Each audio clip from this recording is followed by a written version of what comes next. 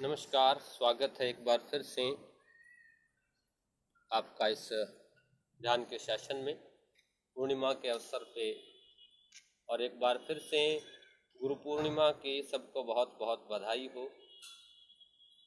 इस सेशन के चरण हैं, मैं बता देता हूँ एक बार। अभी हम डिस्कोर्स सुनेंगे पाँच मिनट का, इसमें ओशो ये बताएँगे कि ओम का उच्चारण कैसे करना है? किस तरह से हम ओम की माँ की गूंज करेंगे? उसके बाद माँ की धुन है मौकार ओंकार की 22 मिनट तक। वो बैठ के ही करनी है, पीठ को सीधा रख के बैठना है आराम से, और फिर धुन करनी है, गूंज करनी है। जैसे ही गूंज खत्म हो, फिर लेट जाना है 10 से 12 मिनट। आखिर में तीन बेल होंगी। वो बेल होने के बाद आप रिलैक्स करें। और कोशिश करें उसके बाद थोड़ी देर शांत बैठें। मन में, हृदय में गुरु का भाव, गुरु के प्रति समर्पण का भाव, श्रद्धा का भाव और ये पूरा जीवन गुरु को समर्पित, अपने गुरु को नमन, अपने गुरु का स्मरण शुरू करते हैं इस सेशन।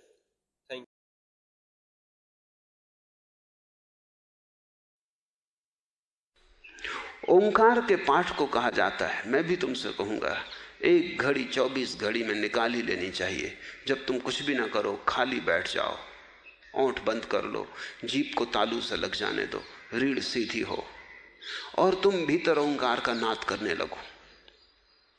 ओंकार के नाद का भीतर करने का मतलब है, तुम ओंठ से आवाज़ बाहर मत निकालो, अंदर ही गुंजाओ। लेकिन गुंजाओ इतने ज़ोर से कि बाहर लोगों को सुनाई पड़े। ओंठ से ना निकले। सुनाई ज़रूर पड़े। तुम्हारे रोए रोए से निकले। तुम एक गूंज बन जाओ। बड़ा मीठा अनुभव होता है। भीतर जैसे अमृत झरने लगता है थोड़े ही दिनों में। और ये अभी असली ओंकार नहीं, नकली ओंकार इतना कर देता है। तो असली की तो बात ही मत करो। उसकी तो कोई तुलना ही नहीं हो सकती। तुम सिर्फ़ आँख बंद करके रीढ़ सीधी करके, रीढ़ सीधी इसलिए ताकि तुम्हारे भीतर सारा शून्य सीधा खड़ा हो जाए। और तुम ओंकार को गुंजाने लगो। जब श्वास बाहर जाए तो तुम ओंकार की ध्वनि करो भीतर, ओम ओम। जब श्वास भीतर जाएगी, तब तो ध्वनि ना कर पाओगे तो एक रिदम एक लय पैदा हो जाएगी। श्वास बाहर जाएगी, तुम श्वास को ओंकार की ध्वनि से भर दो, फिर श्वास भीतर जाएगी, शून्य रहेगा। फिर श्वास बाहर जाएगी, फिर ओंकार की ध्वनि। करो इतने ज़ोर से कि बाहर कोई गुजरता हो तो सुनाई पड़े। जैसे मधुमक्खियों का जत्था जा रहा हो तो एक गूंज मालूम पड़ती, ऐसी गूंज बाहर मालूम पड़ेगी। और वो गूंज तुम्हारे शरीर को भी स्वस्थ करेगी, तुम्हारे बिखरे मन को बांधेगी, और तुम्हारे भीतर एक अपूर्व शांति का जन्म होगा और एक मस्ती छा जाएगी। ध्वनि की अपनी सुरा है। इसलिए तो संगीत सुनते सुनते तुम्हारा सिर हिलने लगता है, जैसे शराबी का हिल रहा हो। अगर तुमने अपने भीतर ओंकार के नाद को गुंजाया और ध्यान रखना कि ये तुम्हारा नाद है, अभी तुम्हें असली नाद का पता ही नहीं तो भी तुम्हारे भीतर एक मस्ती पैदा होगी। तुम एक एक मद मस्ती में जीने लगोगे। तुम चलोगे और ढंग से, स्फूर्ति और होगी। उठोगे और ढंग से, आँखों में एक नशा छाया रहेगा। जैसे ज़िंदगी में एक पहली दफ़ा उत्सव की घड़ी आई है। अगर तुम इस तरह ओंकार की ध्वनि करते रहो करते रहो करते रहो, किसी दिन अचानक तुम पाओगे कि तुम्हारी ध्वनि तो जारी है ही, एक और धुन तुम्हारे भीतर पैदा हो रही है। ये उसी दिन पैदा होती, जिस दिन तुम्हारी वीणा पूरी कस जाती और तैयार होती, साज राज़ी होता है। उस दिन तुम पाओगे, एक ध्वनि तो तुम कर रहे हो, जो अब कुछ भी नहीं, एक फीका स्वर है, कार्बन कापी है।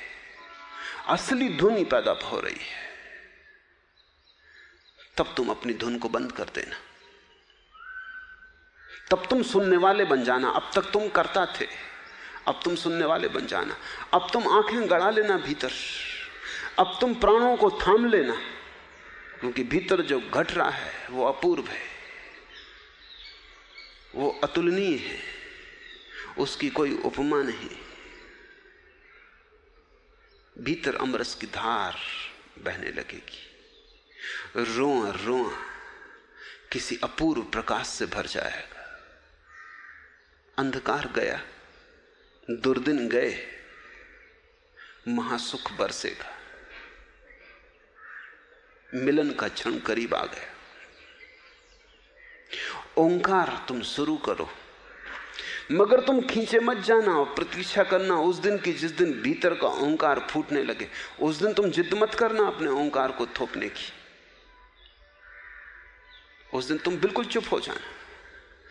तुम्हारा ओंकार तो सिर्फ़ आयोजन था, ताकि रास्ता बन जाए उस ओंकार के बहने के लिए, ताकि तुम्हारे यंत्र में मार्ग बन जाए उस ओंकार को झेलने के लिए।